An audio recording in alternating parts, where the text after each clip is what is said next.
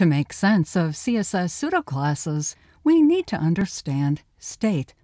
In this context, the word state means a situation or condition that something is in at a particular point in time. Take the state of a stoplight, for example. At any point in time, it has one of three states red state, stop, yellow state, accelerate, oh, no, it's caution, and green state, go. When we talk about the state of the light, we're referring to one of these three possibilities. How is state related to pseudoclasses? Let's start a little differently here and jump right into a demo to understand the purpose of CSS pseudoclasses. Then we'll spend more time talking about what they are.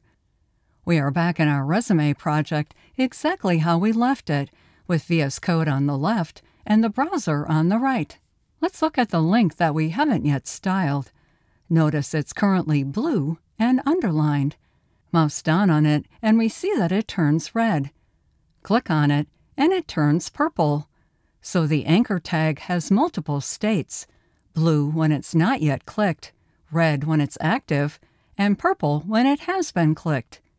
The link we styled doesn't have any of that additional coloring. How do we style these anchor states? You guessed it, with pseudoclasses. Let's go back to the slides. A CSS pseudoclass is a fancy name for a keyword added to a selector. That keyword identifies the element's state to style. To add a pseudoclass to a selector, add a colon and the pseudoclass name. For example, a colon active adds the active pseudoclass to the anchor tag, so we can style the anchor when it's in its active state. As another example, here we use an ID selector and a pseudo class to style this checkbox's check state. Many elements support pseudo classes. Let's look at one in detail. An anchor element has four states. Link when that link has not yet been clicked. Visited when the link has been clicked. Clicking a link visits that linked page, hence the name visited. Hover when the mouse is hovered over the link. And active for the moment the mouse is clicked down on the link. It's recommended that these pseudoclasses be declared in this order because of the CSS precedent rules. We'll discuss precedence rules later in this course. In short, styles declared later override those declared earlier. For the anchor element, we want the active state to take precedence, which is why it's last. Now let's try out pseudoclasses on our anchor elements. Here in our resume, we want to move the links up as part of the header. In the index.html file, cut the two anchor elements and paste them into the header element. Wow, now they are really difficult to read. Let's go back to the style sheet and fix that. At the bottom, we'll add a type selector for the anchor and define a color of white. And we'll delete the color from the attribute selector here. That's better, now we can see our links. But hovering over or clicking a link doesn't change color. And there's no change in color for the links we visited. As soon as we defined our own anchor element styles, we lost all of the styles for the states. Let's add them back. First, we change our type selector to include the colon link pseudo-class. Now we get back the default styles for the other pseudo-classes, But purple on green is really difficult to see, so let's add more selectors. We'll add an A selector for the visited state and set the color to white smoke. And add an A selector for the hover state and set the color to yellow.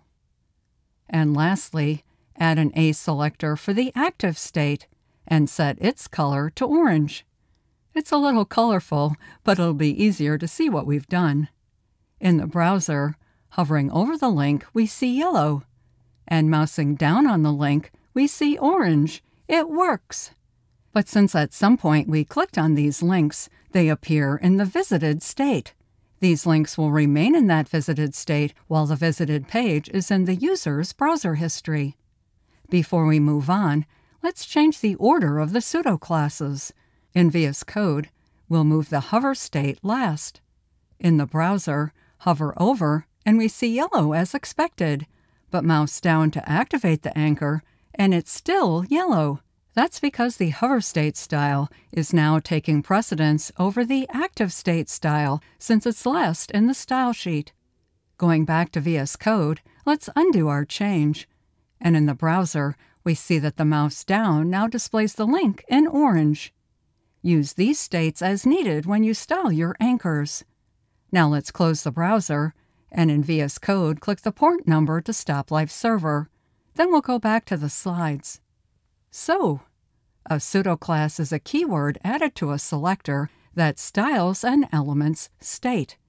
We saw how to add pseudoclasses for anchor element states. Many other elements also have states, and we can style those states using pseudoclasses. For a list of all pseudoclasses, see the lesson links below this lesson. Next up, let's talk more about the other parts of style declarations, the styling properties, starting with color. Don't forget to like and subscribe.